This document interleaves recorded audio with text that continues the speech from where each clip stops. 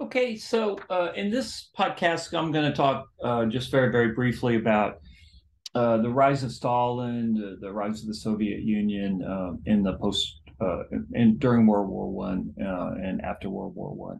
So one of the most profound consequences of World War One was the the Romanov dynasty in the in Russia was overthrown and uh, the Bolsheviks, uh, the communists, uh, took over a small band of very, very dedicated uh, and very, very ruthless uh, politicians who billed themselves as uh, followers of Karl Marx.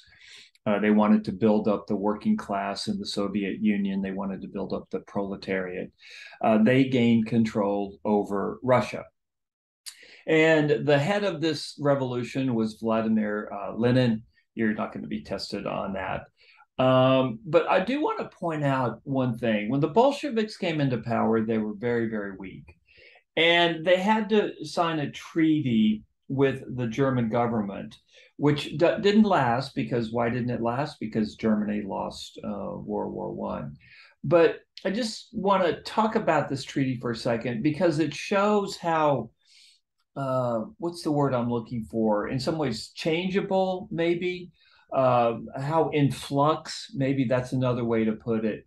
The borders between what became the Soviet Union and Eastern Europe were um, from the period of 1918, really up until the period that we're talking about. And it's because these borders were in flux this is one of the drivers of history. This is one of the, uh, the engines of history during this period because Hitler wants to change the borders to suit his purposes and Stalin wants to change the borders to suit his purposes. And again, both sides want uh, want Ukraine very much. This is very important to Stalin's plans and beginning in the 1930s, and it's very important to Hitler's plans beginning in the 1940s. So Ukraine plays a big role uh, in the history of this course. Uh, and of course, you know, there's fighting going on today in Ukraine. So what happens is, is that when the Bolsheviks, when the communists take power in the Soviet Union, they decide that they're going to make peace with Germany. They make a separate peace with Germany.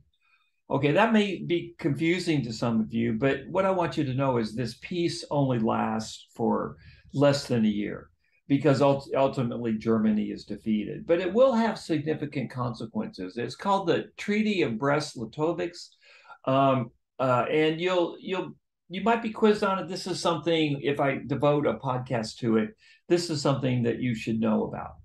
And so, what happens during this peace? Now, what Lenin, the, the head of the Soviet Union, the, the revolutionary who takes control in Moscow, he's a, he's a very pragmatic, practical guy. And one of the promises that he had made to the Russian people when his kind of crew and his, his, his small kind of cadre seized power and created the Soviet Union, he promised them peace um, because the war was not going well for Russia uh, during World War One. So this is one of the central pillars of, of his legitimacy and power. And um, so he feels like, look, I've got to make peace with Germany, otherwise I'll get overthrown because you know the Bolsheviks at this point were not the majority in the Soviet Union. They were just the most organized. They were just the most ruthless. So basically, what happens is Lenin authorizes the signing of a peace with uh, Germany that is very, very unfavorable to the Soviet Union. Okay. So in that peace, uh, the Soviets, it, and it says it right here if you're looking at a screen, they accept the independence of Finland right here, uh, Estonia, uh, Livonia, Courland, Lithuania, uh, Belarus, and Ukraine. So this area here, what became the Soviet Union, for a very brief period, this area of the Western Soviet Union uh, became free of the Soviet Union. And what the Germans got out of it is, is they basically uh, uh, would control these areas. They were independent. Uh, so these countries were independent of the Soviet Union, but in effect, they come under the control of Germany. Okay. This is a significant part of the Soviet Union. But Stalin, who was a, I don't know, how would you put it? I guess, I don't know, is genius, evil genius, I don't know. He, he makes a gamble. He says, look, we're going to make a separate peace with Germany, uh, uh, separate from England and the U.S. and France.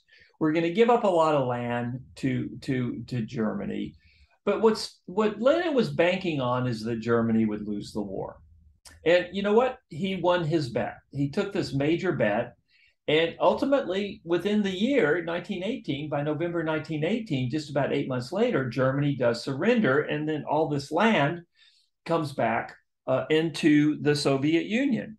Uh, it was a third of the population of the Soviet Union was given up in, in the Treaty of uh, Brest-Litovsk. Uh, but then eight months later, the Soviet Union gets back this land.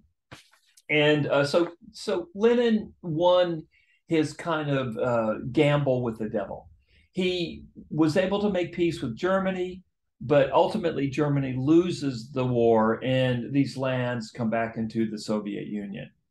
Um, and I, I point this out is it, it, once again we're going to see what a bouncing ball it was for Ukraine. So here's Ukraine. Suddenly they're they're part of Russia. Then it becomes quasi independent, but really part of Germany. Then back into the Soviet Union. Then for a brief minute it becomes li- uh, truly an independent nation. Um, in the post-war period, but by the middle of the 1920s, it's folded back into the Soviet Union. So Ukraine, Ukraine, especially, um, its sovereignty is changing all the time.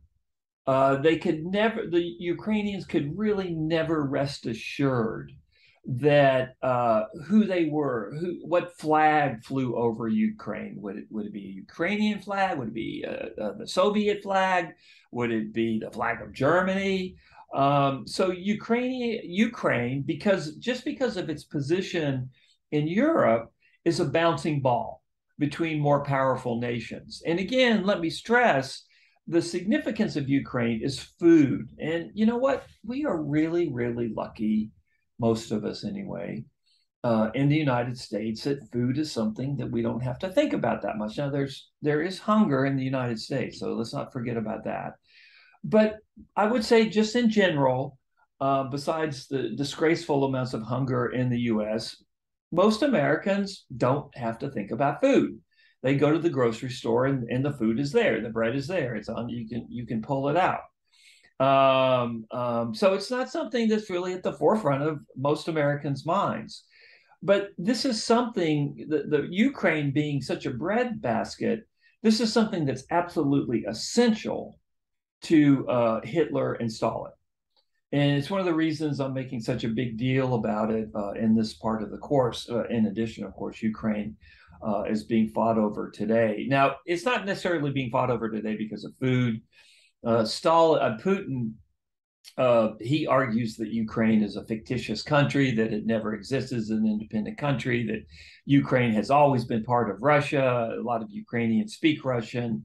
Um, so the arguments today so, aren't so much about food. But in the period that we're studying, food is front and central and, and other natural resources uh, to Stalin and to Hitler. And thankfully, food is something that most Americans don't have to think about, but it was very, very much part of the geopolitical calculations of um, Hitler and Stalin during this period. So just to repeat, there was this treaty that was signed very briefly uh, at the end of World War One. Russia makes a separate peace with um, with Germany, uh, where it gives away uh, uh almost a, a, third of its arable land, uh, uh, a, a, good portion of its population, 55 million folks. It does that to make peace with Germany, and then Lenin does that because it, he won't stay in power unless he makes his promise, he keeps his promise to the Russian people that he's going to make peace with Germany. So he makes he makes a calculated risk, a very calculated risk, and he wins. He he's able he he gets to have his cake and eat it too, which is kind of a food metaphor, right? Um, he makes peace with the Germans, but then about eight months later, Germany surrenders.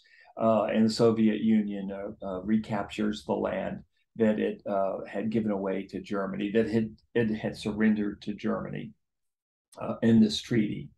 Uh, again, uh, the, the key uh, areas of the Soviet Union that, that were surrendered to Germany were Ukraine, the, the Baltic states, Lithuania, uh, Estonia, Finland. Um, and um, they come back into the Soviet Union for a very brief period after World War One. Ukraine uh, becomes truly an independent country. But by 1922, uh, the Soviet Union has recaptured it and Ukraine becomes subsumed into the Soviet Union. And you know, I have to say, when I was in college, I didn't even know what Ukraine was. It was nothing that I ever thought about because the Soviet Union and ultimately the Soviet Union is is 15 separate republics, including Ukraine. You know, you never when I was in college, unless you were a Soviet specialist, you never thought of Ukraine. You just thought of the Soviet Union. But with the collapse of the Soviet Union in the 1980s, sudden, suddenly all these nationalities that you never thought about, at least when I was a kid, suddenly they become independent states in the in the collapse of the Soviet Union. Um, so yeah, so so for me, like I say, when I was in college, Ukraine meant nothing to me.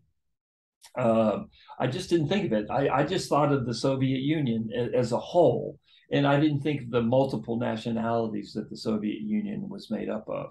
So again, kind of the big take-home point of this this particular podcast is that Ukraine is is a bouncing ball. Uh, Germany always wanted it. Uh, in World War One, they they captured it for about eight months, but then they lose it after their defeat. The Russians want uh, Ukraine as well. What's the key thing? Food, agriculture, wheat. Uh, that's what Ukraine has. That's a precious natural resource it has. So there's a deeper, deeper context to the fight over Ukraine in the 1930s, in the 1940s. It just doesn't come from nowhere. Uh, in other words, uh, geopolitical strategists in Berlin and Moscow had had their eye on Ukraine, and to a lesser extent, the Baltic states and Finland, uh, uh for at least until at, at least beginning of World War One and probably far uh, before that.